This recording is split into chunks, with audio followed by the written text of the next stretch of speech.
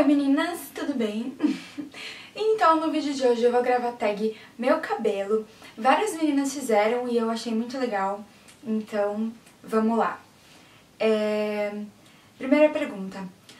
Qual o seu tipo de cabelo? Oleoso, misto, seco ou normal? O meu cabelo, ele é seco, eu acho. É, na verdade, às vezes ele fica um pouquinho oleoso na, na raiz, mas na ponta ele sempre foi seco, sempre será. Então, seco, misto, algo assim. 2. Defina basicamente como é seu cabelo natural. Crespo, ondulado, liso, fino, grosso, armado, volumoso, pesado, ralinho, etc.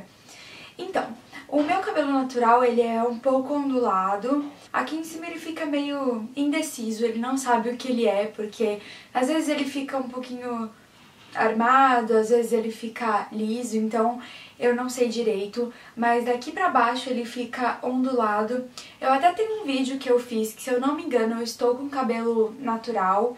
Ele tá com a franja presa assim, com um topetinho, mas eu coloco aqui pra vocês verem como é que ele é naturalmente.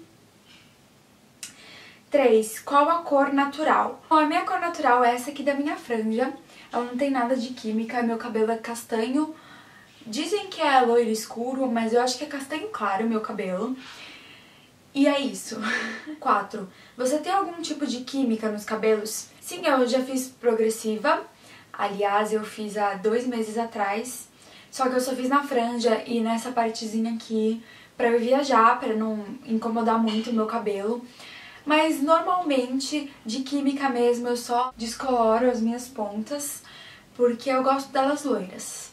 O que você mais gosta em seus cabelos? Eu gosto muito do meu cabelo pelo fato dele ser onduladinho daqui pra baixo, quando ele tá natural. E eu também gosto do, do loiro, que tá nele agora. Mas do meu cabelo natural eu só gosto dele mesmo, porque ele, ele faz umas ondinhas na ponta. E eu acho muito bonito. Mas eu também gosto do comprimento dele, se bem que eu preciso cortar pra dar um, pra dar um movimento, mas eu não sei ainda o que eu vou fazer nele. 6. Se como mágica pudesse fazer alguma modificação neles, qual seria? Se eu pudesse mudar o meu cabelo em alguma coisa, eu acho que eu mudaria a cor dele, ou eu deixaria loiro, ou ruivo, porque todo mundo sabe, ruivo é uma coisa muito bonita e rara, então quem não quer ter, né? 7. Está planejando alguma mudança? Cortar, alongar, colorir, alisar, etc.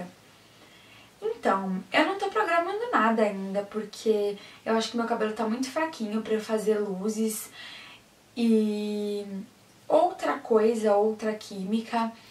Mas eu queria cortar um pouco as pontas, tô pensando em cortar, mas não muito também, só as pontinhas mesmo. E talvez fazer poucas mechas, assim, perto do meu aniversário, mas bem pouca mesmo, porque estraga bastante cabelo, né? 8. Você acha que existem cabelos naturalmente lindos ou acredita que é impossível exibir cabelos bonitos sem algum cuidado especial? Eu acredito sim que é possível você exibir cabelos lindos e maravilhosos, porque existe gente que simplesmente acorda, não perdeu o cabelo, sai e ele tá lindo e maravilhoso. 9. Gosta de cuidar dos seus cabelos sozinha ou prefere deixá-los na mão de profissionais qualificados? Eu não faço nada no meu cabelo sozinha, só hidratação então eu prefiro deixar para um profissional, porque quando você mexe com o cabelo, você também mexe com a sua autoestima. Então é melhor um profissional cuidar do seu cabelo para não dar nada de errado nele. É isso, porque você não é profissional, então às vezes você mexe e dá errado, então eu prefiro confiar meu cabelo nas mãos de um profissional. 10. Já teve alguma decepção ou se arrependeu de algo que fez ou fizeram em seus cabelos? Conte. Já tive sim uma grande decepção e me arrependi muito quando eu cortei franjinha. Na verdade, eu sempre cortei franjinha. Só que às vezes é, eu corto e ela fica acima da sobrancelha e eu acho horrível em mim. Tem gente que fica bonita, mas em mim fica muito feio. E sempre quando chega o inverno eu tenho vontade de fazer franjinha, só que dessa vez eu não fiz. Eu me segurei porque da última vez eu fiz e ficou muito ruim mesmo. Eu vou colocar uma foto aqui pra vocês verem como ficou. Mas eu odiei. Teve gente que gostou, mas eu achei muito ruim. Então, sempre que eu corto franjinha, eu me arrependo e depois de uns dois meses eu começo a gostar dela. Então essa foi minha grande decepção. E sempre é no inverno, porque eu sempre tenho vontade de cortar franjinha no inverno. Já descobriu algum truque, técnica ou produto que deixa seu cabelo melhor e não costuma abrir mão? Então, eu tenho cinco produtos que eu não abro mão na hora de cuidar dos meus cabelos. É, dois deles são o shampoo de volume da Alce e o 3 Minutes Miracle, também da Alce. E agora, é, pós banho, assim, eu uso esse olhinho de argan da Moroccan Oil. Eu uso este livrinho da Bad Head, é o After Party, que eu já mostrei pra vocês também. E eu uso também este livrinho da Bad Head. Ele é muito cheirosinho, ele é muito gostoso, ele é leve, ele não pesa no cabelo. Então eu gosto muito desses cinco produtos.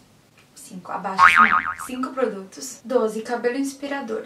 Cite uma ou mais famosas que você se identifica em relação aos cabelos. Eu me identificava muito em relação aos cabelos com o cabelo compridão da Miley Cyrus. Quando ela fazia Hannah Montana ainda, o cabelo dela era lindo, ondulado e grande, então eu me identificava muito com ele. Eu também me inspiro nos da Jennifer Aniston, em qualquer tipo de cabelo que ela faz, porque ela fica linda de qualquer jeito, então eu me inspiro nela. Antes de ir embora, eu tenho um beijo especial para mandar, que é para Divando com Bacon. Então é isso, se você gostou do meu vídeo, clique em joinha aqui pra mim, compartilha e até os próximos vídeos. Tchau!